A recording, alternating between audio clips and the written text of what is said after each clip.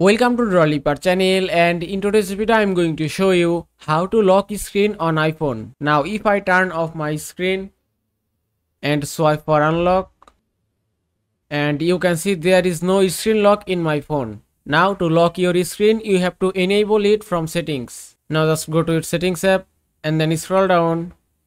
Then go to face ID and passcode. Then scroll down again now from here first you have to enable passcode then just tap here then type a new passcode then type your new passcode again to verify it and give it a moment.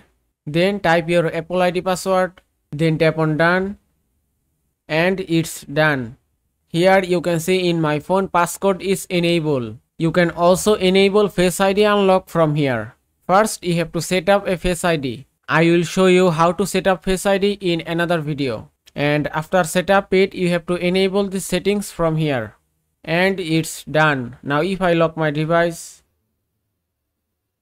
and then swipe for unlock.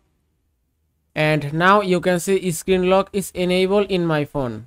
And that is how you can lock screen on iphone. I hope this video was helpful. If it was please give it a thumbs up and don't forget to subscribe